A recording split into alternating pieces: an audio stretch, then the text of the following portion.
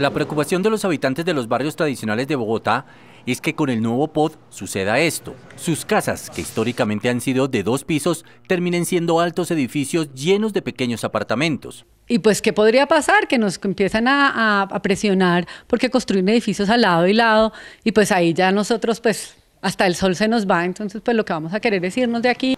El plan de ordenamiento territorial cambiaría el uso del suelo de barrios como Modelia, Pablo VI, Nicolás de Federman, 7 de agosto, entre otros, dando vía libre a la construcción masiva de altas edificaciones como ya ocurre en Teusaquillo. Las casas pueden estar entre 700 a, a 1.200 millones de pesos, puede ser ese valor mayor o menor.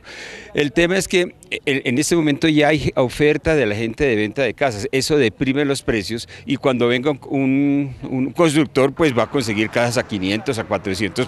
El descontento de la ciudadanía por estas medidas contempladas en el POT se hizo visible hoy al conocer esta carta en la que de manera extraña el concejal de Cambio Radical, Juan Felipe Grillo, suspendió la sesión en la que se pretendía aprobar o negar el POT, lo que automáticamente le dio al alcalde Peñalosa la opción de aprobarlo por decreto.